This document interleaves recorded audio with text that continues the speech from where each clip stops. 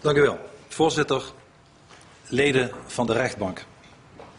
Overal in Europa gaan de lichten langzaam uit. Overal op het continent waar onze beschaving bloeide en waar de mens vrijheid, welvaart en cultuur schiep. Overal ligt het fundament van het Westen onder vuur. Overal in Europa fungeren de elites als beschermers van een ideologie die al 14 eeuwen lang uit is op onze vernietiging. Ik mag de zaal verlaten als u het geruisloos wil doen.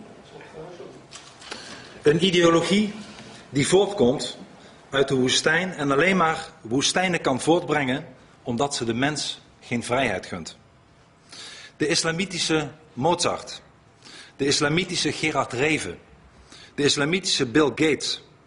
Ze bestaan niet, want zonder vrijheid is er geen creativiteit. En ik geloof met alles wat ik in me heb dat de islam een ideologie is die zich vooral onderscheidt in moord en doodslag en die alleen maar maatschappijen kan voortbrengen die achterlijk en verpauperd zijn. En vreemd genoeg willen diezelfde elites geen slecht woord over deze ideologie horen. En mijn proces staat daarom niet op zichzelf.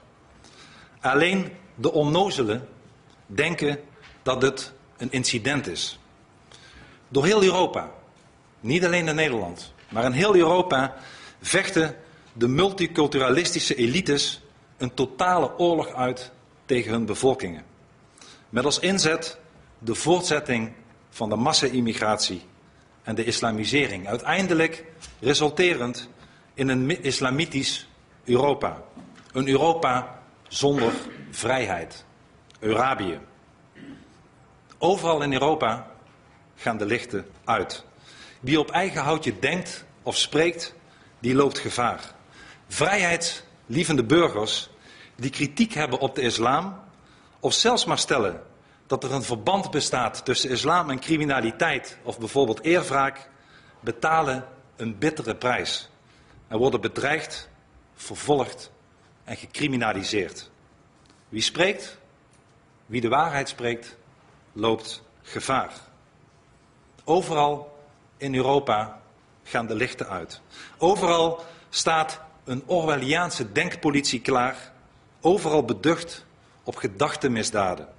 Overal erop uit de bevolking terug te werpen binnen de lijnen waarbinnen men geacht wordt te denken. En dit proces, voorzitter, leden van de rechtbank, gaat daarom niet alleen over mij. Dit gaat over iets veel groters. Vrijheid van meningsuiting is immers niet het eigendom van de toevallige elites van een land. Het is een onvervreemdbaar recht. Het geboorterecht van ook het Nederlandse volk. Er is eeuwen voor gevochten en het dreigt nu te worden opgeofferd om het een totalitaire ideologie naar de zin te maken. En toekomstige generaties zullen toekijken en terugkijken op dit proces en zich afvragen wie aan de goede kant stond en wie niet. Wie kwam op voor de vrijheid en wie wilde de vrijheid in de uitverkoop doen. Overal in Europa gaan de lichten uit. Overal wordt onze vrijheid beknot. En daarom sluit ik af met de woorden die ik vorig jaar tijdens de regiezitting hier ook sprak. Het is niet alleen het recht, maar ook de plicht van vrije mensen zich uit te spreken tegen iedere ideologie die onze vrijheid bedreigt. Het is dus een recht en ook een plicht en ook mijn recht en mijn plicht als Tweede Kamerlid de waarheid te spreken over de kwaadaardige ideologie die islam heet. En ik hoop dat de vrijheid van meningsuiting in dit proces zal zegevieren. Ik hoop dat niet alleen ik word vrijgesproken, maar vooral dat de vrijheid van meningsuiting van zoveel Nederlanders en zoveel Europeanen zal blijven bestaan.